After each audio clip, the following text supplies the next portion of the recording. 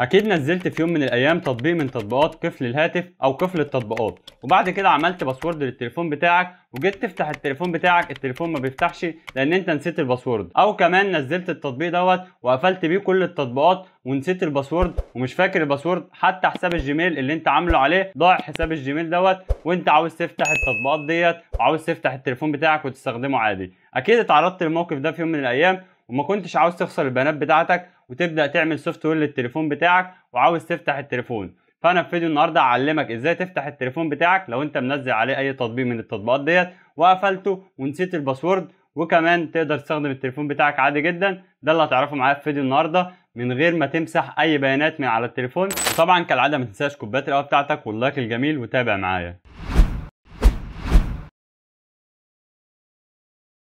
زي ما أنتم شايفين قدامكم التليفون معمول له نمط وأنا دلوقتي مش عارف النمط كل ما أدخل نمط يقول لي طبعا إن النمط غلط. ودلوقتي أنا مش عارف كلمة سر بتاعة التليفون. هبدأ أول حاجة أعملها هبدأ أدوس على التليفون ضغطة مطولة اللي أنا هقفل التليفون وأبدأ أدخل على الوضع الآمن. بتدخل على الوضع الآمن بطريقتين. أول طريقة إن أنت تفضل دايس دوسة مطولة هنا على إيقاف التشغيل وبعد كده تبدأ تدوس على الوضع الآمن. وكده التليفون بتاعك بيدخل في الوضع الآمن وبعد كده بقى تبدأ تفتح التليفون تاني. تاني طريقة لو الطريقة دي ما اشتغلتش معاك بتدوس على زرار ال power وزرار توطية الصوت دوسة مطولة أثناء ما التليفون بيفتح معاك. يعني لما التليفون يجي يفتح معاك بتدوس على زرار توطية الصوت وتشيل صباعك من على زرار ال power. بتفضل دايس على زرار توطية الصوت أثناء فتح التليفون. ودلوقتي برضه اوريك الطريقة الثانية ولكن أنا دلوقتي هدوس على الوضع الآمن. التليفون هيرستر معايا وبعد كده التليفون هيبدأ يدخل على الوضع الآمن. زي ما أنتم شايفين كده التليفون بيفتح معايا. هبدأ أدوس بقى على زرار توطية الصوت. في حاله لو الطريقة الأولى ما اشتغلتش معايا هفضل دايس عليه دوسة مطولة لحد ما التليفون ما يفتح. ما تشيلش إيدك من على زرار توطية الصوت. دول كده الطريقتين اللي تقدر من خلالهم تخش على الوضع الآمن. بتنتظر عما التليفون يفتح معاك زي ما أنتم شايفين.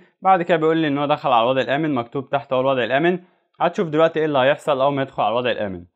طبعا بيصبر شوية زي ما أنتم شايفين. التليفون فتح معايا على طول. ساعات بقى التليفون مش بيفتح معاك على طول بالشكل ده. بتبدأ تعمل إيه؟ بتنزل طبعا شريط الإشعارات كده. هتلاقي طبعا معمول وضع طيران وكل حاجة مقفولة في التليفون. هتبدأ بعد كده تدخل على الضبط. بعد كده تبدأ هنا تدور على التطبيقات أو مدير التطبيقات على حسب نوع التليفون بتاعك. هنا متسمية بالتطبيقات. عندك ممكن تلاقيها مدير التطبيقات. بعد كده تبدأ تدوس على التطبيقات وهنا بقى تبدأ تدور على التطبيق اللي انت عامل من خلاله القفل سواء بقى قفل تطبيقات أو حتى قفل الهاتف هتبدأ تدور على التطبيق هنا. ده التطبيق اللي أنا بستخدمه اللي أنا أقفل التليفون بتاعي وكمان أقفل بيه التطبيقات هبدأ أدوس على التطبيق كده. بعد كده هنا هدوس على إلغاء التثبيت أو مكان التخزين وبعد كده أبدأ أدوس على مسح التخزين المؤقت ولكن أنا هنا هدوس على إلغاء التثبيت وأبدأ أمسح التطبيق خالص وأدوس على موافق. كده التطبيق اتلغى التثبيت بتاعه. هبدأ بقى أرستر التليفون بتاعي.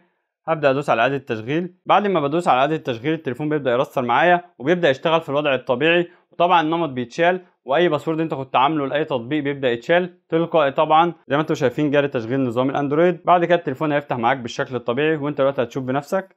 هنا طبعا بيقول لي اختار الشاشة الرئيسية ده عشان أنا منزل كذا تطبيق. زي ما أنتم هتشوفوا دلوقتي قدامكم حالا هيفتح من غير نمط ومن غير أي باسوردات خالص. هنبدأ ندوس كده على زر power ونبدأ نفتح تاني. زي ما أنتم شايفين من غير أي باسوردات. والطريقة اللي انت بتستخدمها في حالة إنك منزل أي تطبيق من تطبيقات قفل شاشة الهاتف أو أي تطبيق انت منزله بتقفل بيه التطبيقات بتاعتك وعاوز تفتح التطبيقات دي. أما في حالة إن التليفون انت عامل له نمط لو انت استخدمت الوضع الآمن في الطريقة ديت مش هتشتغل معاك لأن حماية التليفون غير حماية التطبيقات اللي انت بتستخدمها. وبكده كنتات حلقتنا النهارده. دمتم في أمان الله.